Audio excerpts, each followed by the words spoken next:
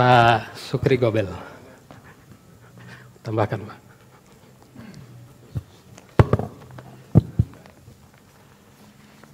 Bismillahirrahmanirrahim. Assalamualaikum warahmatullahi wabarakatuh.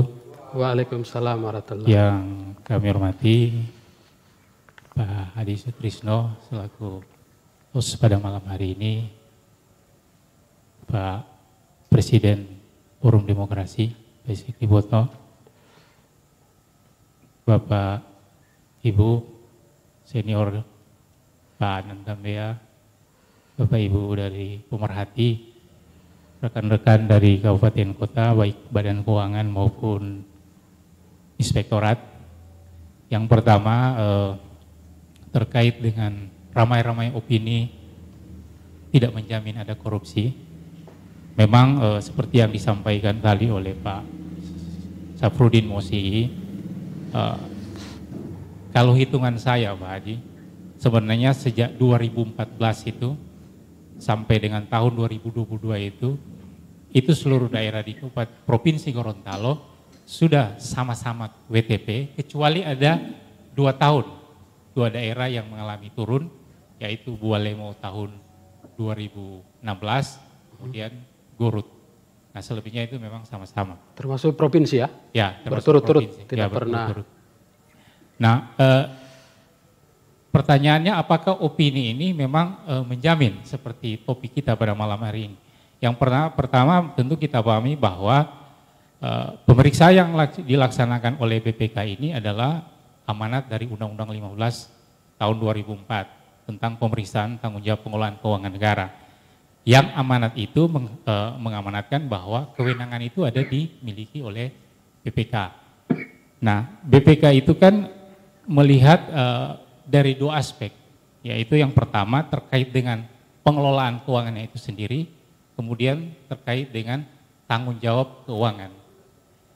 Nah, bagaimana dengan opini yang diberikan oleh BPK ini? Uh, tadi Pak Kaban Keuangan juga Pak Masih sudah sampaikan bahwa opini ini memang bagi sebagian daerah ya mungkin di antara kita ada yang menganggap bahwa uh, itu adalah prestasi. Tapi kita sadari bersama tadi juga disampaikan bahwa itu adalah tanggung jawab pemerintah. Dan tanggung jawab penyusunan laporan keuangan ini bukan hanya pemerintah daerah, tapi dari pemerintah pusat, kementerian lembaga, pemerintah kabupaten kota dan pemerintah provinsi menyusun laporan keuangan yang setiap tahun diaudit. Dan yang, yang mendapat opini itu bukan hanya pemerintah daerah, pemerintah pusat pun mendapat opini dari BPK, kementerian lembaga.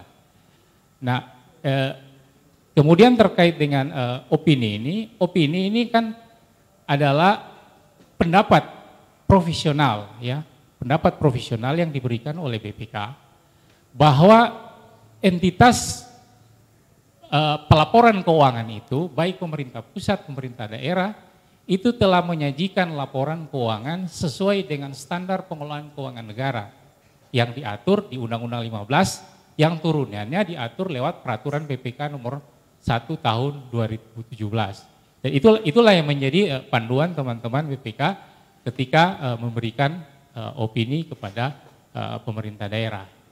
Nah, bagaimana tadi topik kita, apakah uh, tidak ada korupsi?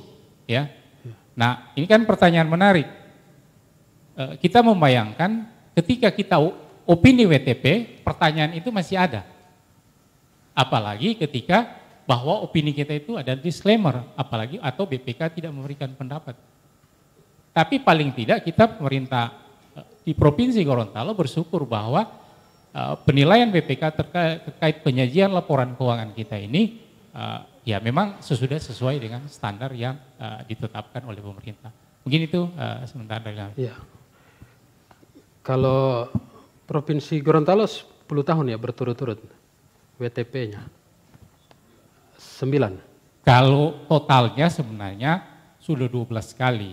12 kali ya? Iya, cuman yang berturut-turut itu memang di pemerintahan eh, 13 kali, ya sudah 13 kali karena 2000, kita turun opini itu 2009 sebenarnya.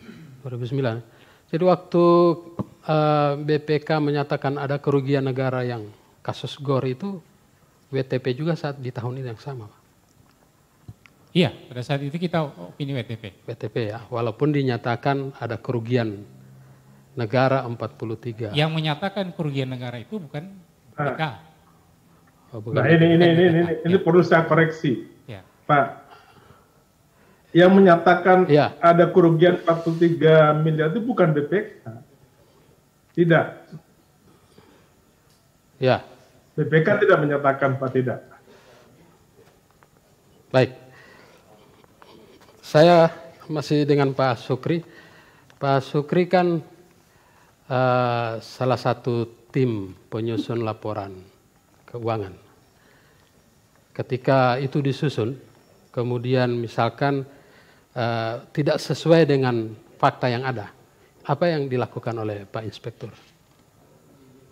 Eh, baik, eh, mungkin kami ralat Pak. Eh, yang menyusun laporan keuangan itu, pemerintah daerah itu memang bukan inspektorat, tetapi badan keuangan selaku yang diberi tanggung jawab amanat undang-undang.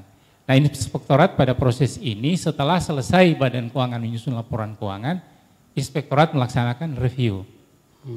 Nah review itu kita memberikan catatan-catatan kepada badan keuangan terkait perlu adanya perbaikan, misalnya perbaikan sebelum disampaikan kepada BPK.